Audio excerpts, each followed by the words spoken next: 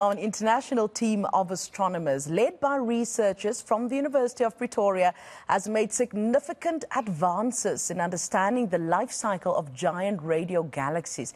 These structures, larger than galaxies, play a crucial role in astrophysics and are formed by black hole jets interacting with their surroundings. If you are as lost as I am, do not fear. We've got an expert in studio with us. Joining us now is Professor Kshitij Thorat, Associate Professor in the Department of Physics at the University of Pretoria. And boy, Prof, are we happy that you are here. Good morning. It's good to be here. Uh, let's unpack it for those of us who are not familiar with radio galaxies. What are they? Why is studying these, as you call it, cosmic giants, so important for South Africa's science and technology growth? Please help us understand. Radio galaxies are actually galaxies uh, like our own uh, which shine in the radio band. Now, why are we?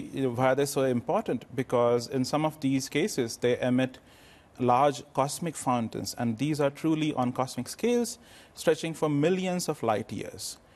Now, so far, South Africa has been at the forefront of the study of these uh, galaxies through the MeerKAT Radio Telescope. Mm -hmm. And it has been instrumental in uh, bringing about a paradigm change in how we view these objects. So our study carries forward the same uh, effort and uh, takes it to a different uh, simulational backed uh, perspective. Mm -hmm.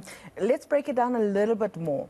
As a person, what can I benefit from it? Every single resident that's watching, what can they benefit from studying these radio galaxies? These radio galaxies are not passive uh, objects what they do is they affect their surroundings, the cosmos itself, and they are key players in how stars form and how uh, other structures in the universe form and evolve. Mm. So this is a question uh, which is useful for all of us, in fact, and uh, this is why we should care about radio galaxies.